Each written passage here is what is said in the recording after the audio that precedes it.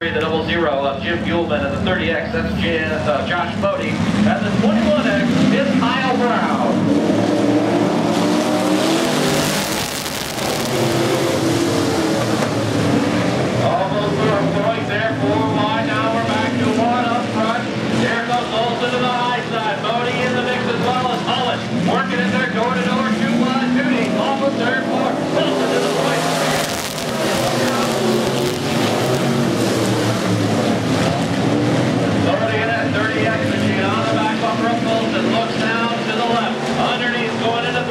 Gotta try to